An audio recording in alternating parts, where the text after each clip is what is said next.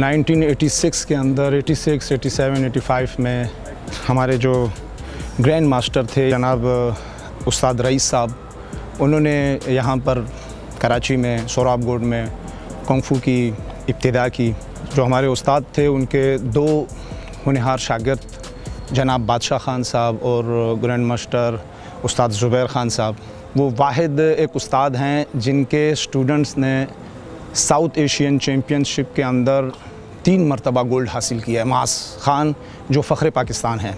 उस्ताद rice जब चले गए बैरून मुल्क तो उनकी जगह उस्ताद बादशाह ख़ान ने सोराब गोड के अंदर क्लास संभाली। वो भी अपने कारोबारी और सिलसिले में जब बाहर मुल्क चले गए तो अल्हम्दुलिल्लाह 2007 से आज 2020 है, तेरह साल से मैं यहाँ पर ये खिदमत एक है जो सर अंजाम दे रहा हूँ। हमने कभी भी इस बॉक्सिंग किक बॉक्सिंग या फिटनेस जिस लेवल पे भी हम इसे करते हैं, कभी हमने इसको बतौर बिज़नेस नहीं किया है। अल्हम्दुलिल्लाह ये है कि हम फ़ीस ज़रूर रखते हैं, लेकिन अगर कोई नहीं दे सकता, किसी का बैकग्राउंड कमज़ोर है तो हम कभी उसे ये फ़ोर्स नहीं करते कि हमने किसी को फ़ीस की वजह से यहाँ से मतलब क्लास ना करने दी हो, या हमने उसे जाना यहाँ पर क्लास करने से मना किया हो। फ़ीस ना होने के बावजूद जिन स्टूडेंट्स को उस्ताद ने क्लब के अंदर रखा या मैंने रखा, वही लड़के नेशनल और इंटरनेशनल लेवल पर चैम्पियन बने।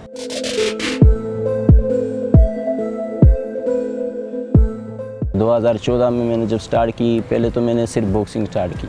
उसके बाद किक बॉक्सिंग वुशू एमएमए फिर 2016 में मेरी फ़ाइट हुई किक बॉक्सिंग की। मैं नया था प्रेशर ले रहा था। एक महीने बाद फाइट थी। तो उस्ताद समझाते हैं कि फ़ाइट में बिल्कुल प्रेशर नहीं लेना है। ठंडे दिमाग से पीछे कोच खड़े रहते हैं, वो आपको समझाते रहते हैं। फिर बंदा पम्प होता है, बिल्कुल। रिंग में जाते हैं, बिल्कुल ठंडे दिमाग से। प्रेशर तो हर कोई लेता है, मगर प्रेशर के ऊपर कंट्रोल करना पड़ता है। अभी मेरी नवंबर में फ़ाइट है तो इंग्लैंड के साथ। इन विन करूँगा। मैंने 2014 में स्टार्ट की। फ़र्स्ट टाइम जब मैं आया तो मेरे सीनियर्स आसिम लोग कर रहे थे यहाँ पर। उसके बाद जब मेरी फ़ाइट हुई 2017 में ये बॉक्सिंग बॉक्सिंग फ़ाइट हुई सिंध बलूचिस्तान। उसमें अल्हम्दुलिल्लाह मैंने गोल्ड लिया। उसके बाद 2018 में हुई कोयटा में। उसमें अल्हम्दुलिल्लाह मैंने सिल्वर लिया आल, ऑल पाकिस्तान वशू में। उसके बाद एस एफ़ एन जो पाकिस्तान में बहुत बड़ी इवेंट हुई थी, वो एम ए की, उसमें अलहमदिल्ला मैं सिल्वर हुआ। पहला फाइट 2017 में था, लाहौर में, इस्लामाबाद में किदाजम गेम हुए। उसमें अलहमदिल्ला मैंने सिल्वर मेडल हासिल किया और फिर 2018 में कोयटा में नेशनल गेम्स हुए थे, उसमें अलहमदिल्ला सिल्वर मेडल हासिल किया। और 2019 में नेशनल चैम्पियनशिप हुए थे, पेशावर में, उसमें अलहमदिल्ला ब्रॉन्ज मेडल हासिल किया। और फिर 2019 में पाक और श्रीलंका के दरमियान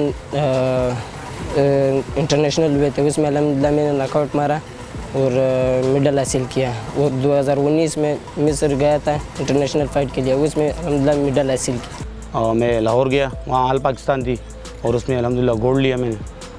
फिर आया ट्रेनिंग करने। फिर शावर गए, आल पाकिस्तान था, फिर गोल्ड लिया अलहमदिल्ला फिर ट्रेनिंग करते करते फिर कुछ अर्से बाद आल सिंध गेम्स हुए थे।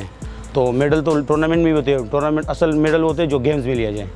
गेम्स में फिर सब कुछ और फुल हर लड़का जो तीन महीने ट्रेनिंग करते हैं दो घंटे ट्रेनिंग करते हैं वो लड़का छः घंटे करते हैं क्योंकि गेम्स का जो मेडल होते हैं, वो बड़ी अहमियत रखते हैं। अगर कोई मार्शल आर्ट्स को करता है तो फिटनेस के लिए फिटनेस तो आपको मिलेगी सेल्फ डिफेंस के लिए।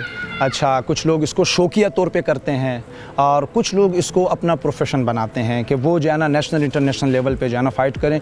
ये सबसे आखिरी दर्जा है और ये सबसे मुश्किल होता है। स्टूडेंट हमारी नज़र को भाता है और हम उससे ये एक्सेप्ट करते हैं कि ये आगे जा सकता है कि जो गिव अप नहीं करता जो कभी आ, मतलब इंजरीज़ पे या कभी किसी नाकआउट या नॉक डाउन पे या कभी लिवर पे पंच या किक लगने से वो जब गिव अप नहीं करता, उसकी आँखों में हमें डर का, खौफ का कोई साया जब नज़र नहीं आता तो हम मतलब अपने दिमाग से ये कह सकते हैं कि ये इन बहुत, क्योंकि सबसे बड़ी चीज़ जो इस खेल के अंदर एक खिलाड़ी को रोकती है, वो एक खौफ है। रोज़ाना तकरीबन जाना ढाई घंटे एक्सरसाइज करता हूँ। दो घंटे क्लब में जो एक्सरसाइज होती है, जो बच्चे करते हैं, मैं ख़ुद पहले करता हूँ, जितनी ट्रेनिंग होती है, वो सब मैं ख़ुद करता हूँ। उसके अलावा आधा घंटा मेरी अपनी कार्डियो एक्सरसाइजें हैं, कुछ जाना है, वो मैं करता हूँ। तकरीबन ढाई घंटे की रोज़ाना की मेरी अल्हम्दुलिल्लाह, हफ़्ते में पाँच दिन। और ये लोगों को मुश्किल लगता है कि यार कैसे कर लेकिन जब एक वक्त आप इस चीज़ के आदी हो जाएँगे इस चीज़ के जब आप तो आप जब नहीं करेंगे तो आपको मुश्किल होगी। तब आपको परेशानी होगी। ट्रेनिंग जब मुसलसल जारी रखते हैं, चाहे थोड़ी हो, लेकिन रोज़ाना की बुनियाद पर जब आप रखेंगे उसको तो आप एक्टिव भी रहेंगे चाको चौबंद भी रहेंगे और इन अपनी उम्र से कम भी दिखाई देंगे, जाना।